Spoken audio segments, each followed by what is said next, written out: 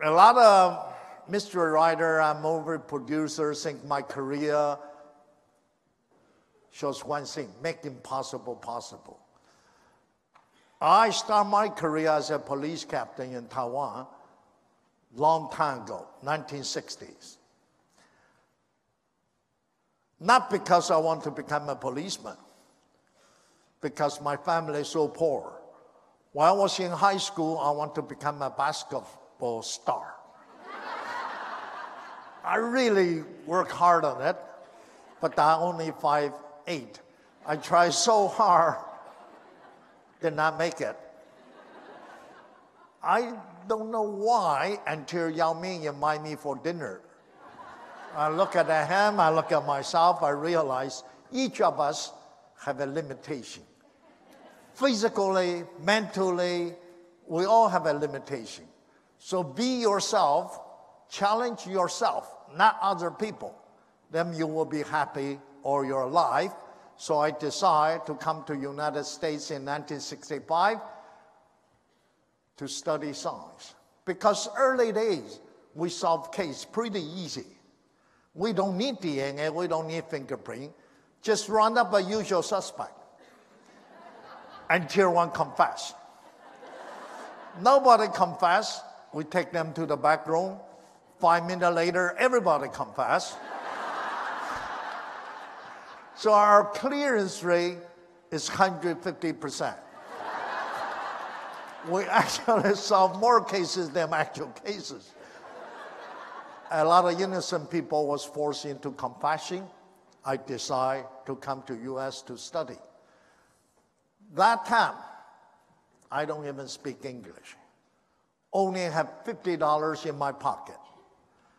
50 some years later, I still don't speak English, but I sure have a lot of money in my pocket. this probably the best country. If you want to prove yourself, you have a chance. So I studied at NYU Medical Center, then I got my doctorate degree in 1979. I start work at Connecticut State Police as their laboratory director. Wow! so a lot of people think I'm making possible possible. I spend so many hours, thousands, thousands of hours at the crime scene, day and night, holidays. Those police officer, detective, they all work extremely hard. People have vacations, they have to work. After the crime scene, most of the detectives went home. I have to start working in the laboratory. When we finish, then I have to testify in court. So all my career basically visit four places: crime scene, lab, courtroom, and classroom.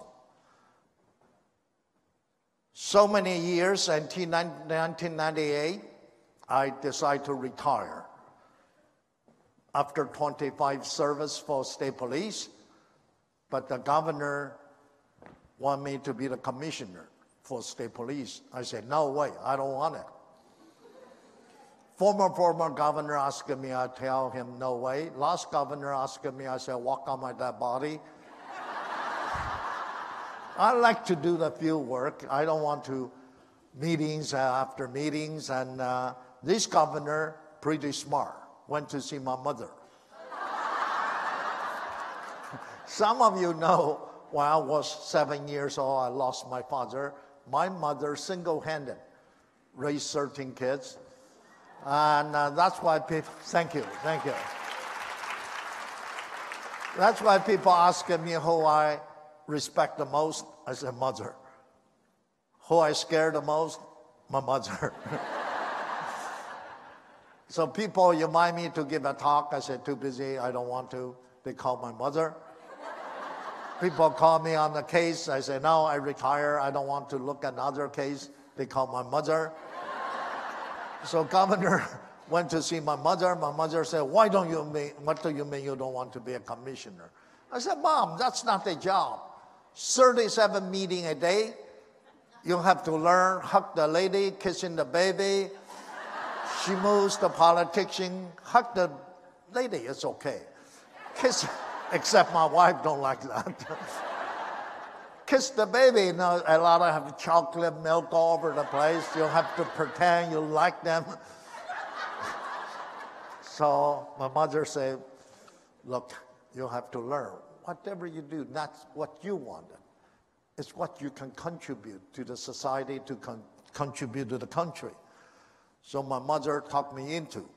I became the first Asian ever become a state police commissioner.